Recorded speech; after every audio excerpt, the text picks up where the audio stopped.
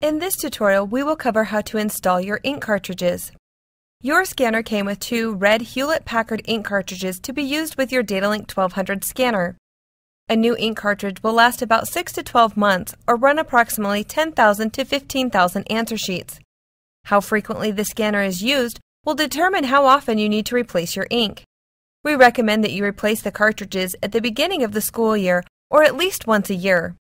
If you've recently located a scanner in a box that you were not aware that you had, or if your scanner has not been used for an extended period of time, you may need to purchase new ink cartridges.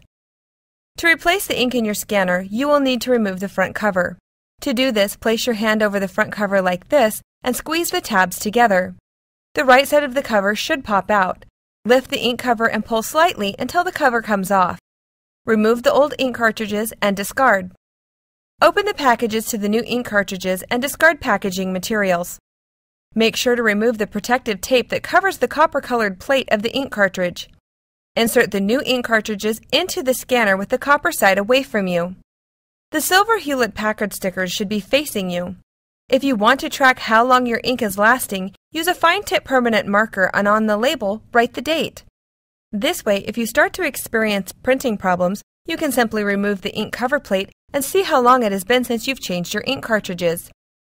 Replace the front cover by placing the small feet on the left of the cover piece into the slots on the face of the scanner. Once those are properly inserted, press down and in on the ink cover plate to lock it back into place. You will need to run a key through your scanner to ensure that the new ink is marking the sheets correctly and does not have any printing problems. Plug in your scanner and make sure that the LCD reads ready. Create a key to run through your scanner to test the printing. It doesn't matter which answer sheet you use to test the printing, you just need to make sure that you mark it as the key. After you've filled in all the answers on the front of the answer sheet and mark the key bubble, feed it through your scanner. When the key is scanned, it will place the correct answer next to each question.